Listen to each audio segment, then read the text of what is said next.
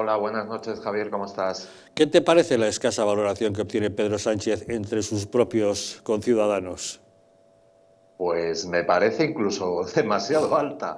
Yo le, porque yo, le habría puesto un cero patatero, pero bueno, en realidad me parece, me parece demasiado, demasiado aceptable para la gestión que está haciendo Sánchez, la verdad. Un cuatro, un cuatro y pico por ciento me parece hasta un aprobado para, para lo que está haciendo lo que está haciendo este hombre que es un auténtico desastre. Pero es que no le salva ni siquiera un mínimo prurito patriótico. El resto de países siempre vota a su presidente por encima de algún otro. En el caso de España no, le han votado todos el último. Sí, sí, es, cierto, pero es que, es que en este caso, como los más perjudicados somos nosotros, fíjate que me ha parecido entender que en la encuesta, eh, en el global, se le daba un 5,26%, si no recuerdo mal. Un 5,27, sí ahí influyen los votos de los extranjeros, es decir, de los que le conocen menos de lo que les le conocemos nosotros. O sea, se salva el general de la encuesta salva el aprobado por lo que votan los de fuera, que es que tiene, tiene guasa el asunto. O sea, y en España, en España ya te digo que todavía me parece un cuatro y pico demasiado alto para lo desastre que es Superman. Y la otra encuesta, la de ABC, que habla de expectativas electorales, nos dice que el PSOE baja de 120 a 101. Poca caída parece también, ¿no? Pues sí, la verdad es que sí. De todas formas, ya sabes que las encuestas, bueno, una cosa son las encuestas y otra es el, el resultado final, pero efectivamente me parece muy poca caída para porque tenemos que ser conscientes de que vivimos en un auténtico desastre. O sea, ahora mismo estamos en un desastre sanitario, económico, social, político.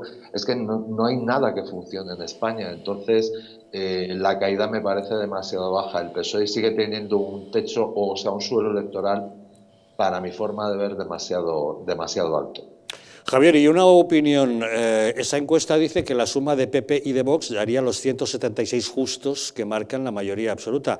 Pero como se sigan tirando los trastos a la cabeza, aquí no va a haber nadie que sume, ¿no? Efectivamente, es que, es que por, otro, lado tampoco te creas que la perspectiva es demasiado, demasiado buena, porque realmente parece mentira que creo que eh, vivimos en uno de los momentos en los que más fácil de, nuestra historia reciente los que más fácil podría resultar hacer oposición con un presidente débil. Recordemos que Sánchez no consiguió mayoría absoluta, ni simple, ni nada parecido. Y parece que la oposición está más preocupada en, partirse un poco la cara entre ellos que, en hacer realmente lo que tienen que hacer, que es hacerle oposición a un gobierno que es el peor de nuestra historia.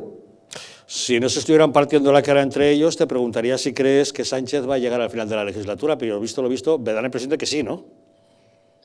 Bueno, no te creas. Eh, de todas formas, yo a Sánchez le veo como, como sin demasiadas salidas.